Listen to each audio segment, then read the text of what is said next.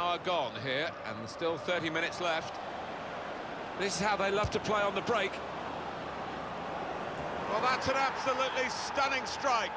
I cannot believe he took that on, Martin. It, it stunned me, and it certainly stunned the keeper. Well, they'll be showing that over and over again. It is an occupational hazard for goalkeepers. When you have a bad day, this is what happens. Yeah, quite right, and he's going to get absolutely hammered.